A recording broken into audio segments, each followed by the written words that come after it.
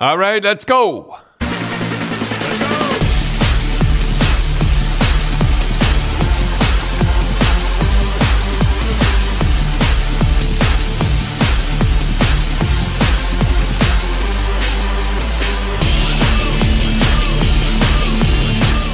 All right, all right, all right. Here we go. And it looks like Coyotes are going to go to Utah. Yeah, the hotbed of hockey, Salt Lake City. really. Quebec's ignored again, eh? Yeah. And you know that's a beautiful arena. It really is a beautiful arena. It doesn't look so too much on the outside, but boy, when you get inside, it's beautiful. Aren't you uh, surprised that Quebec doesn't make a bigger deal of getting Well- uh, snub nose there? I think they're playing it pretty smart. They'll see they got to have a team out west, and I think they, I think Quebec will get it uh, the next next deal. Yeah, because they said they're going like this might help Quebec because they're going to expand. They say two more teams, so you think Houston's going to get one for sure, and they always wanted kind of one in Salt Lake City, so now they'll Have two more in the, the east. east, and then they'll get one in the west. Oh, so you know they're talking Atlanta, but like you know how many times can you go to Atlanta? Oh. and uh, I, I think Quebec might get it might get a team after uh, with this, but see they say it could be two billion dollars. Two billion. Imagine the guy bought a club for five hundred thousand, and uh, Yeah. So so, so uh, I think what they said is like the the league is buying the team, the Coyotes, from the owner of the Coyotes Yeah. for something. I forget it was, and then they're turning around and then they're going to sell it to the owner in. Um, in and split Salt- amongst and So they don't think of it that they're just moving the one team to another place. No, they're It's- getting new fran- the new owners. It's a whole new. Well, and that's the thing they wanted. The guy that owns the Utah Jazz is going to be the owner of the basketball team, so he's kind of like a big time guy. gotta have dough to make dough. So the one thing we, you know, we ran a couple of grapevine shows. The Rocket Richard last week was a great, uh, a great interview. Oh, what? You know, you can almost see that guy though. He, I, I, I could see him. You, do you remember had that eyes? Yeah, he was he, he like to me was when he walked when Rocket Richard walked into the grapevine studio. He was sizing everybody up. Been interviewed before, and he they brought up things that he didn't like brought up, and we told him before the questions, and he was as happy as pig in mud. Yeah, yeah, that was a great interview. And you know, funny thing is, I, I, you, you, you don't have a lot of interviews on Rocket Richard like that in depth and talking, No. about, talking about and asking um, uh, if uh, he uh, reconciled with uh, He, Clarence he Kemp. did, talked honestly. Yeah, yeah, Yeah, he, he, and the other way, well, I, I've seen him in interviews before, and uh, he just He's a give- big. He was guarded. he was guarded. Yeah, that that's the word, guarded. Well, Tim, you produced those shows, and I think that show got a reputation of of the the, the people that were being interviewed felt safe. We I always went over the questions we, with the with the guest, right? Yeah. So they knew what was coming, right? And, Yeah. and that was good. So Yeah, he, he it, it was good. It- the good. It was a good show. Larry Yeah. Zeidel. like, We got a lot of people saying what a great show that was. The one before, how how it was just like two guys talking about old times. So, but. uh so we didn't. We one thing that we did haven't talked about was the big fight between the Devils and the Rangers when all five guys went at it right off the face. I never did. I never saw that before. I think I saw it once before. Well, the Devils and the Rangers did that. Did Yeah. about four years ago. They did the same thing. Yeah, it's the it's the visiting team has to put in, and and he looks at it, and the guy looks at it, the coach looks at it, and sees he's starting five tough guys, so he starts his five tough guys. So you're saying Travis Green, the coach of the Devils, he put his tough guys Yeah. out, and then it goes to Laviolette. Yeah. and then he's saying, "Oh, okay, you're putting your guys That's- out," and then. I'll put my guys out. But I never really remember when you were coaching Boston, like guys fighting right, right off the face off. No, like. I don't. I can't remember. I don't remember guys ever fighting right off the face off either. I, I don't. They, they usually had to do something. Yeah, yeah, but uh, boy, the crowd just was going nuts. Like anybody that says, oh, "Oh, the, you know, fighting's terrible" and all that, the Rangers fans were just Just going absolutely bananas. They're tr- trying to do their best to, to stop the fighting, and there's more fighting now than there ever was. Yeah, there seems to be a lot of fights, like and teams that don't like you know the Devils and the Rangers are you know that's they're kind of a, a rivalry, right? But uh, who was it? Buffalo and Tampa the other day, I think it was. No, uh, Washington, Buffalo and Washington got Boy, into they, it. and and these guys mean it. Yeah, They mean it. yeah. I mean, they try to hurt one another. They, they, they there's no fooling around. I just feel like you know that Rempe, the the the big tough guy for the Rangers. He's he's he's got to slow down a little bit. I think. But here's here's the thing though, that we, we'll get into that was with Toronto. We were talking about Toronto. You know, Ryan Reaves was playing good. He got a couple of fights. Yeah. and playing good, and then he didn't play him for three or four games. I don't. I, I don't understand. I just. I picked Toronto to go, but I don't know. I'm beginning to wonder. They better dress him in the playoffs. At least have him on the bench. Is that a coach's decision or is that from above? No, think? that's well. I don't know. Like, I don't know. I, I don't know. Like they're they're playing, they're playing that Robertson and they're playing Knies uh, ahead of them, and uh, you know that's good. But they need one of those guys, not both. They need they need Reaves. They need one. They need Reaves to play. yeah. Yeah, you know, you say Reaves isn't playing, so guess who's doing the fighting? Five foot ten Max Domi. I don't get it. Yeah, he's I mean, smallest guy on the really? I mean, he's sticking up for a guy that's what six foot? How big? I know the the superstars aren't supposed to fight like Matthews, but I mean, there's a there's a guy like Max has to stick up for a guy that's what six foot two. Yeah, but he thinks he's six foot two. Yeah. well, the funny thing is, you see Ty in the stands. He's not happy. No, he's not. Like he's probably saying, you know, I fought and got my brains pounded out, so you don't have to do that. Yeah, they analyze that to death. No, don't that- they? that's what it was. Matt, Ty's you know reaction. Well, in the Ty. Ty, the max. Well, I remember we, we were when we were scouting. Right, Max was he played for Don Mills. when We were out, and I think uh, you said to Ty. I don't think he, he Ty got was too happy. He says, "Well, he goes, Ty has." Uh, he goes, Ty he goes, uh, Max has your tenacity and your, you know, your grit and Leanne's hands. Did I say that? Yeah, he, he didn't. Ty, Ty kind of looked at you. He didn't think that was funny. No, no, I didn't think that was funny. I thought it was funny. Ovechkin. Yeah, Ovechkin closing in on Gretzky's record. Ovechkin has played 19 games in the league. He's only missed 59 games. That's the one thing that that that's I- why he's at that Yeah. record. He he's played 19 seasons in the NHL, and he, And he- plays plays a rough game, And he plays a tough game. and he's only missed 59 games. But, but he scored 57 open net goals in 19 seasons or three. And you don't think that's much. I don't think that's much. Only three a season, but that boggles the mind that he plays that kind of rough, banging style, He does. He, he does. He's a rough guy. and he only missed he's only missed 59 games, so he's pretty durable. But Gretzky will still be the greatest goal scorer. You could say he got the goal, but Gretzky's the greatest goal scorer. You know, that's Come on. I mean, Gretzky did it every year. Okay, Cindy and Dad. Matthews is closing in on 70 goals. He scored last night, so he's got 69 Nine goals, goals. with what, two games left? And, and remember, Tim, I said he just miss it. If he misses the next game, he'll, get. yeah, he'll hit 69. And he'll um, just miss it. And uh, McDavid, he's not playing. He's he's out, but, but and he has 99 assists. So he did a poll on uh, X. We said what was more impressive, 70 goals or 100 assists? And we had close to 5,000 people voting, and over 60% said 70 goals was more impressive. But my thing is, eight players have scored 70 or more goals, and only three have had 100 or more assists. Funny. Yeah, so the guys that got 70, 70 goals were Esposito, Gretzky, he did that four times. Kurri, Mario twice, Bernie Nicholls, I never would have guessed that. Brett Hull three times, Alexander Mogilny, and Teemu Selanne. How about uh, Phil when he went from 76 goals to 63 goals and he said, You're, uh, you had a bad year last year. 63, 66 goals or something like that. And he had a bad year. He had a bad year. Yeah. Uh, goes to show you, right? Keep your, keep your, you know. Well, Keep the bar low. Sundin used to get 40 goals, 43 goals, 42 goals, Yep. 41 goals. I said, Tim, he'll get 40 goals this year. Oh, that's pretty good, but he'll only get 40.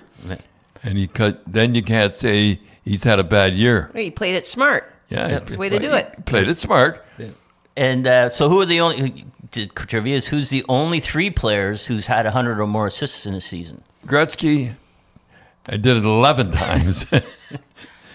Mario and Bobby Orr. Yeah, And Bobby, and you know, I've come to the conclusion that the reason they don't talk about Bobby Orr a lot is that uh, nobody ever saw him play. Imagine, ma- imagine he got he got a four. I, I'm not going to knock defensemen today, but you know they get 20 goals and uh, that's really something. He got 46 goals, 46 goals and 100 assists. And he fought. and 100 and 100 penalty minutes. And 100, he used to fight all the time. And I used to say, why would you, you know, they break his hand or something? We're done. We're done. I remember he used to fight Pat Quinn, and, and, and, and uh, I used to think, geez, uh, you know, and he break his hand or something, our, our, whole, our whole career is down the drain. My career is down the drain. Okay, Dad, this is from Peter Puck 21 from X. Okay, Grapes, who's the MVP this year? Well, Kucherov will win it. He'll win it this year because everybody else has the most points win. Uh, I still like like McDavid. McDavid is is my my my guy. I mean, he's the best player in the world. He really is. yeah. So I- the whole definition of MVP is is is sort of been skewed. It's just whoever gets the most points. That's what it is now. Basically, whoever gets the Hart Trophy usually gets the MVP. oh, well, that's not fair. It's most valuable player to the team. Well, that's the way it Right. goes. Like I, I personally think you know that, and I'm not being a Leaf show. I think it's Matthews because if, if Matthews had 35 goals, Oh, absolutely. the. Leafs wouldn't. The Leafs would be out of the playoffs, For and sure. they would have been out of the playoffs by two months ago. Yeah. And it, you know, the one thing too is you look at you know a guy like Sidney Crosby. He's got 41 goals. He's carrying Pittsburgh. He's For trying. sure. He's trying to drag them across that line to get to the boy, playoffs. he's really something, isn't he? He is, eh? He- It just- watching him back checking. and And then at the end, uh, giving it to Pastrnak. Uh, this last this, on Saturday night, he uh, had a breakaway and took a slap shot at, towards the end of the game. Crosby was giving him hell after the end of the game and all that. So it, it it's kind of sad to see Crosby though. Like you'd like to see him on a good team. you know. players still like him. Yeah, you know, uh, one of the guys was on Hockey Night in Canada said, uh, you know, Quinn Hughes for uh, for Vancouver, Well, once he gets a job, I think. with- with- but the Canucks. Good one, Dad. they great. do that. Grapes, you talked about the Bruins scoring 300 goals in a season. And um, I don't know whether I, t- I told this story or not, but I'm going to tell it anyhow. I'll never forget, uh, and I, I, I, I honestly didn't know 300 goals meant something in the National Hockey League. I just, just wanted to keep scoring, keep scoring. He says, We got 300 goals again. And I said, Oh, did we? He says, Yeah. He says, How do we do it? I said, I don't know. Yeah, because you, you think of all like how many like this year was a lot of goals scored, and only two teams like going down to the wire. Only nobody has scored 300 goals, this, and it looks like Col- like um, Colorado might get it, and uh, somebody else, another team might get it, but. I think the only thing I ever did was uh, I used to get the, all the defense down and I'd pass the pucks to them, and and when they'd miss the net, I'd say, "Do I ask much? Do I ask much?" And you guys the- never ran up the score either to get all those goals. No, You- we- and you could have a lot of times, boy. I knew that you were keeping the goals down. Yeah, we used to play the third and fourth line. That's right. You could have scored a lot more than 300, I and the funny thing is, I remember one of the guys. I think it was Peter McNab. Yeah, come on, Power, let's go. with the, with the second and third line on. Yeah. You know, I, I, I do think, though, like, it goes to show that overall a team will score more goals if it's more balanced than having, like, Kucherov getting 140 and Absolutely. MacKinnon getting. Well, and- it's easy to check. yeah, well, we, you, I mean, we say it all the time with you having 11 goal scorers, 20, 20 or more goal scorers on the team. And I, I never will forget. I never ever will forget this. They had um, uh, the French Connection line, and it it, it could really score goals. right. So I was Buffalo. That was Rene Robert, Rick Martin, and Gilles Perreault. yeah, boy, boy, were they good! And every time I put on uh, Schmautz, Bobby Schmautz, uh, John Ratelle, and Marcotte, he'd think that was our checking line. They'd think that's the checking line. They think that was he used to the, the coach used to think it was the checking line, and he used to get sixty goals. and Yeah, they used to take line. the other guys off. yeah, and he he'd take the other guys off. He'd take the French guys off and tabernacle the Caliste, and he- and they I didn't know what they what it meant, and I I know one reason why you guys checked them so well was I remember you told a lot of times when you had uh, Greg Sheppard that Oh, Gil- that, that Gil biggest Perreault, mistake I ever made was getting rid of Greg Sheppard. But Gil Perreault, he'd get that puck behind the net and he'd wind up and he would be Oh. he was like MacKinnon, eh? You couldn't catch him. You couldn't catch him once he get going, boy, and he, he put that arm down, and um, I used to say to Ch- Sheppard all the time. I say, "How did you ever? How did? What? He says the the key is to get it before he winds up. Yeah, as soon as he got the puck, he was on him. And he he he get on him and he just kind of just ease him uh, over to the side. Do you remember how you embarrassed mom and I about? Uh, I don't know if we said that before. About uh, we, we told you that we thought uh, Rick Martin was the better looking than Rene Robert, and you told Rene. and he yeah. came over the house and he said, "I cannot believe that you think Rick Martin is better looking than me." we were going, "I can't believe, Dad, you told him that." That was pretty funny. I thought it was pretty funny. No, it wasn't. Oh, well, I thought it was funny. Anyhow, hey, Rick Martin, he was better looking than uh, Rene. Oh, yeah, he was, but they were they were pretty close. Pretty but, close, one, but, but. Rick Martin was he was a movie star. But that's when you used to know what the players used to look like. Yeah. They didn't wear the helmet, and it was the seventies. They had I think beautiful he long did hair. wear a helmet near the end. I yeah, think. but during his hey, their heyday, Yeah. none of them wore a helmet. You No. saw that flowing hair. That was. Don't you remember what happened that with that? Was uh, I think it was Gilles Perreault really got really got hit and he hit his head like late in their careers. yeah. And um, and uh, Rick uh, Martin I think put a helmet on. Oh, that's right. And then you said Gil Perreault got hit. So, uh, Gilbert Perreault got hit so hard. Rick Martin put a helmet on. that was funny. I remember that. So Cindy, Dad had a lot of funny clips with Buffalo. Oh, Well, we thought they were funny. Some. Very the- witty. but the Buffalo fans didn't think. But one time, um, John Wensink got to a fight. I don't know who it was with Buffalo, and then he, in a, I think John might have bit him in the fight, and they took pictures and they showed you, and they says, "There, Cherry, what do you think? John Wensink bit bit this ho- this Buffalo Saber," and you said, "That's what I like, hungry hockey players." Yeah, I was pretty clever. Um, but remember the sign they had in Buffalo? Oh, I never forgot that sign. Every year they put up if you put up the best sign, they they give you uh, season seats for the next year. They had uh, uh, they had Wensink and Cherry, Goon with the wind. That was clever. That was pretty and good. it was a huge sign too. oh, it was it ever? Yeah, I mean, everyone they showed it on TV. Everyone got a good laugh on that. Goon with the hockey players. One, two. Dad and Cindy, we'd like to thank our sponsors, NorthstarBets.com. It's a Canadian owned and the best place to play live in Canada. They have everything you're looking for slots, live dealer tables, sportsbook with built in sports bet insight and analysis. And listeners who have an account with spreads.ca, which was their original name, don't have to do anything. Just sign into NorthstarsBets.com. And NorthstarBets.com has an exclusive offer to our listeners. If you sign up or deposit with the promo Cherry, NorthstarBets.com will match your first bet up to 100 bucks, and you get 100 bonus spins on the big wheel. It's a limited time uh, offer while quantities last, and it's not available in Ontario. And everybody thinks they know hockey. Playoffs are coming up, so throw a few shekels here and there to see if you know what you're Yeah, doing. it looks like you're, you're going to ask me uh, Leafs and Panthers in the first round. Who do you pick? I picked the Leafs. Really? After the last, yeah, after the last couple of games, I don't know.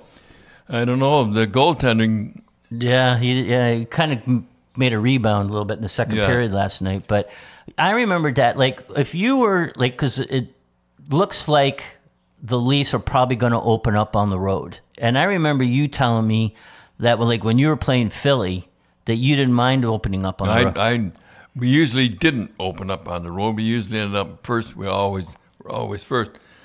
But um, I, I would, I, I used to like to open up on the road, just grab one, and then it, it, it's uh, the season's over. The season doesn't mean a thing. Right, because I remember like it, if you were saying when uh, that one year, I think it was '77, you guys won the first game in overtime. Ricky Middleton scored, and you, you know I remember you in the press were saying, "Well, now the pressure's on them; they have to win that second Yeah. game," and they didn't. You- Terry O'Reilly scored in double overtime. Yeah. Looks like Leafs and Panthers in the first round. I'll pick the Leafs. And uh, the Jets and the Avalanche in the first round. Who do you pick? I'll pick the uh, I'll pick the Avalanche on that one too. Yeah, but Colorado, the Jets hammered them seven nothing last year. Yeah, night. well, I'd still take him. Does that mean anything? Oh, and embarrass them uh, and like that. You better believe it, and uh, they they won't forget that. Yeah, so it's it doesn't work in Winnipeg's favor. No, Doesn't work in I would Winnipeg. think that's not even playing it too smart, even for the coach to no. I run up the score. Well, not much you can do. The guy, they all want to score. Well, when you didn't run up the score, you'd play your third and fourth Didn't line. matter about me. I didn't want. I I just did what I wanted to do.